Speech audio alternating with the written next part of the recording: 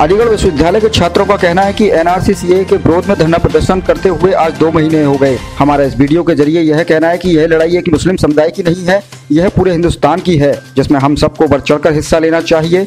और अपने संविधान को बचाने के लिए आगे बढ़ना चाहिए। जैसे आसाम में एनआरसी और सीए लागू किया गया था, वहाँ एक समुदाय के लोगों को नहीं, बल्कि सभी समुदाय के लोगों को झेलना पड़ा था। इस वीडियो के ज़रिए हम यही मैसेज देना चाहते हैं। आओ हमारे साथ चलो। मुस्लिम विश्वविद्यालय में एनआरसी व एनपीआर के विरोध में चल रहे धरने प्रदर्शन को दो महीने पूरे हो चुके हैं। इस बीच स्टूडेंटों ने एक वीडियो जारी किया है, जिसमें यह दिख रहा है कि आप कहाँ हैं? हम संविधान बचाने निकले हैं, देश बचाने निकले हैं। आप कहाँ हैं? लगातार शिक्षण संस्थानों को निशाना बना रहे हैं। आप कहाँ हैं? मैं अपने वतन के लिए आंदोलन में शामिल हूँ। आप कहाँ हैं? मैं उन्हीं दाल में कितना क्यों साबित करूँ? मेरी नागरिकता पर सवाल खड़ा होता है। मैं यहाँ खड़ा हूँ। आप कहाँ हैं? आप कहाँ हैं? आप कहाँ हैं? आप कहाँ हैं?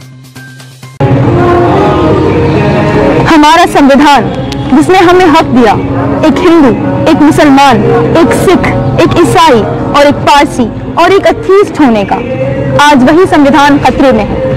हम तो निकल आए हैं इसे बचाने। आप कहाँ हैं? पढ़े लिखे लोगों को आज अर्बन नक्सल्स कहा जा रहा है। उनकी आवाज़ दबाई जा रही है उन्हें मारा जा रहा है। मैं उन्हें बचाने निकला हूँ। आप कहाँ हैं? ये आंदोलन हमारे देश के स्टूडेंट से शुरू हुआ था जो धीरे धीरे शाहीन बाग कानपुर इलाहाबाद तक पहुँच गया। इसकी आग धीरे धीरे पूरे मुल्क में पहुँच गई है। मैं अपने वतन के लिए यहाँ हूँ। आप कहाँ हैं?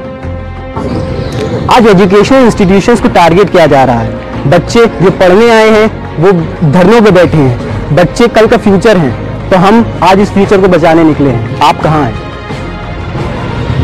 पंद्रह दिसंबर में जामिया और एएनयू में होने वाली ब्रुटैलिटी और 5 जनवरी में जेएनयू में होने वाली ब्रुटैलिटी के जिम्मेदारों से सवाल पूछने में यहाँ हूँ। आप कहाँ हैं? मैं अपनी सिटीजनशिप साबित क्यों करूँ? जब मेरे मुल्क ने मुझे मेरी सिटीजनशिप कॉन्स्टिट्यूशन की शक्ल में 26 नवंबर 1949 को ही दे दी तो मैं अपनी, दोबारा अपनी सिटीजनशिप साबित क्यों करूँ? मेरी सिटीजनशिप पे सवाल हो रहा है, मैं यहाँ पर खड़ा हूँ, आप कहाँ हो? N R C M P R C A एक लीथल कॉम्बिनेशन है जो हमारी आइडेंटिटी को सीधे टारगेट करता है। इसमें जो सबसे ज़्यादा नुकसान है वो गरीबों का है।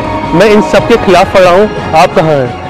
यूनिवर्सिटी के तलबा की तरफ़ से एक वीडियो वायरल हुई है, जिसमें कहा है, आपका है तो वो क्या है वीडियो और आप उसको क्या कहना चाहेंगे उसके बारे में? वो सिर्फ़ एक मैसेज है कि हम लोग संविधान बचाने निकले हैं, हम देश को बचाने के लिए निकले हैं, आओ हमारा साथ दो। उसमें कुछ ऐसा चीज़ नहीं है, हम लोग अपने, हम बुलाना चाहते हैं कि क्यों संविधान को बचा सके हम लोग, क्योंकि इस दौर में संविधान को कुचला जा रहा है। हमारे अधिकारों का हनन हो रहा है तो हम लोग अपनी तरफ़ बुलाने के लिए, हम इस लड़ाई को लड़ने के लिए सबको बुलाना चाहते हैं और इस लड़ाई का हिस्सा बनाना चाहते हैं, क्योंकि हम आगे जाकर दिखा सके कि हम संविधान के लिए लड़े थे और आप भी हमारे साथ लड़े। साइड पर आप कहाँ हैं? क्या उद्देश्य है उसका?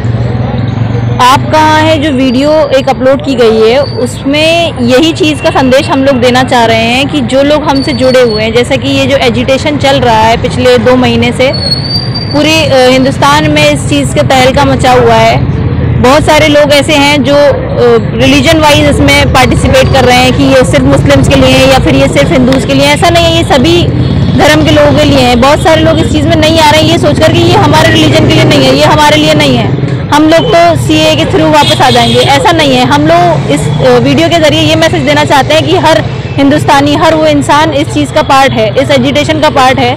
ये जो कानून लाया गया है, ये सबके लिए लाया गया है। ये सबकी सबकी नागरिकता के अगेंस्ट है। मान लीजिए ये जो सोच रहे हैं लोग कि हिंदुओं को इस चीज़ से फ़ायदा होने वाला है उन लोगों को कोई नुकसान नहीं है, सिर्फ़ मुसलमानों का नुकसान है। मैं इस चीज़ पर ये बताना चाहती हूँ कि इस चीज़ में नुकसान सबका है, क्योंकि हम लोगों ने देखा कि आसाम में जब एनआरसी हुआ तो वहाँ क्या हुआ? उसमें आधे से ज़्यादा लोग नॉन मुस्लिम थे।